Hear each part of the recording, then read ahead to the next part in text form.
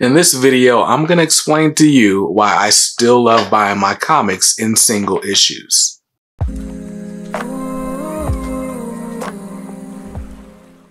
What's up guys, BJ Kicks here. I buy comics, I read them, and I review them, all for your viewing pleasure.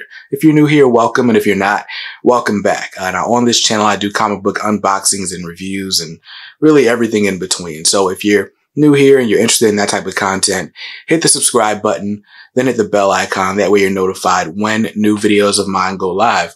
Now, this is another episode of a series I like to call Why I Love, where I just wax poetic about things I love about the comic book industry and hobby.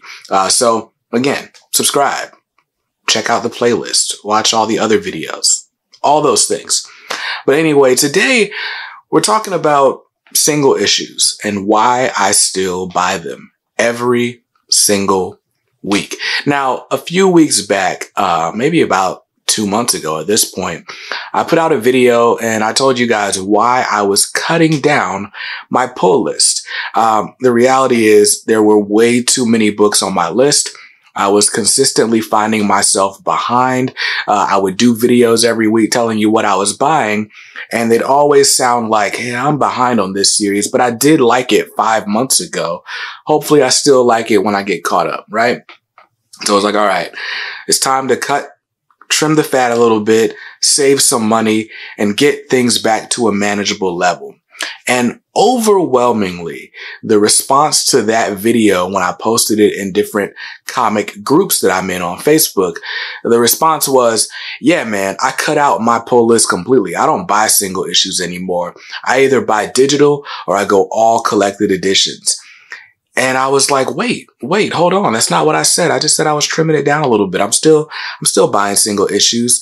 And I felt like I had to defend myself right? And so that's what this is. I'm telling you guys why I love buying single issue comic books. And there are a few reasons. The first is that I buy my single issues from my local comic shop. Uh, so shout out to Ultimate Comics Raleigh um, and the Greater Ultimate Comics Company. They got four locations in the Triangle area in North Carolina. So you can shop there in Raleigh, Cary, Durham, and their brand new location in Crabtree Valley Mall. Uh, so shout out to Ultimate Comics and thanks for sponsoring the channel. Uh, but I shop at Ultimate Comics Raleigh and one thing I love about the comic book hobby is the community. Um, and the weekly trip to the comic shop is almost always my favorite time of the week. There are times where I'll go to Ultimate Comics and I'll stand there for an hour 90 minutes talking with Dan, talking with Casey, uh, looking over new books that came out this week, talking with other customers in the shop about what they're buying and why they like the series that they like, uh, eyeing the variant covers and the rare wall books that I won't be able to afford.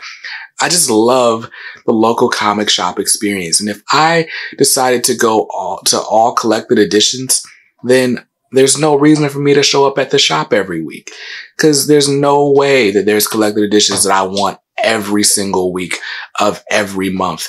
It's just not happening. So the first reason I continue to keep a pull list and buy single issue comic books is because of the community and the shop in general. I love the shopping experience. Now, the next reason is because variants. So listen, all of the schemes that comic book publishers, you know, use to get you to buy comics, they wouldn't use them if they didn't work. And one of the things that I love are variant covers. The most recent example that I can think of was the variant cover for Static Season 1, issue number 4. Nick Draper-Ivey, who's the artist on the series, did an homage to Akira and as someone who hadn't even seen Akira, I was like, yo, I love that cover. Had to go to the shop. I had to buy two copies. Uh, this week, as I filmed this, there is a, uh, a variant cover for The Thing, number one, uh, by Lee Bermejo. It just looks dope. And yes, if you buy collected editions, a lot of the times there is a cover art gallery in the back, but how awesome is it to have a dope cover and display it? Maybe you'll put it in a CGC case. Maybe you won't. Maybe you'll buy a Gator guard like my friend Laura from Married with Comics, or maybe you won't. But having variants is just awesome. Like, for example, I'm going to show you a few variants that I've picked up over the last couple of weeks that I just love.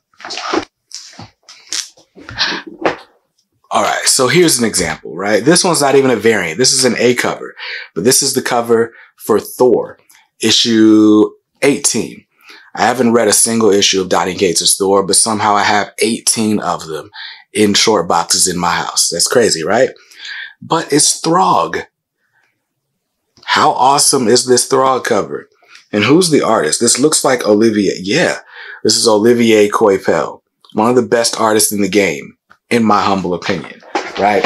So there's one, right? Here's a Lee In-hyuk variant. This is for Seven Secrets issue number one by Tom Taylor, who has become my favorite artist or artist, my favorite writer. Um, and this series has a lot to do with why he's my favorite writer. Uh, here, this, yeah, this is a, the Batman Adventures Continue season two, if I'm not mistaken. I believe that's what this is. Uh, number one, team variant, right? And what is it? Well, it's an homage to every animated appearance of Batman. We've got, you know, the Batman in the style of Bruce Timm right here. We got Batman Beyond. Like, we got Batman Year One. We just got a lot of Batman. And this is just a dope cover. And this is stuff that you just don't get in collected editions. Here's this one. Here's a copy of Detective Comics issue 1035 with a variant cover done by Lee Bermejo, one of the best artists in the game right now. So that's really dope. That's really dope. Um, I love the covers. I love having these individual pieces of artwork to display. Uh, the only downside is instead of going on display because I'm limited on wall space, a lot of them just kind of end up in that stack of short boxes right there. But I love revisiting the covers. It's art is the reason I got into comics and I just love, I love the cover art. Call me a sucker. I don't care. I mean, what if you were like into Spawn covers, but the only way you collected Spawn was the compendiums, and then you found out there was no cover art in the compendiums? That's not an exaggeration. There's literally no cover art in the Spawn compendiums. Then what are you gonna do? Right? So the second reason that I love buying comics every single week is the covers. And now, the last reason that I love buying comics every single week is there's nothing like the feeling when you are all caught up on a series and you read the one issue and it ends on a cliffhanger and you're like, wait, what? What's that? What's going to happen next? Like, for example, I just read Amazing Spider-Man issue 77 not too long ago. Uh, issue 78 is out this week, by the way. And in issue 77, it ends, spoiler alert, it ends with Ben Reilly's Spider-Man getting bit by Morbius. What? Ben Reilly is going to be a vampire? What?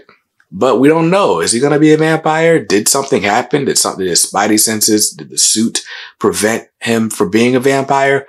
I don't know. I got to wait till I find or read issue 78 to find out. So when you are caught up on your comic books, reading them weekly, in my opinion, is such a fun way to build anticipation. And I love reading the story in these little single issue sized bite-sized chunks. The only time that doesn't work is when the author or the writer decides to decompress the storytelling a little bit too much. Uh, James Tynion tends to be good for that with Batman. I feel like I've been reading the same issue of Batman for three months now.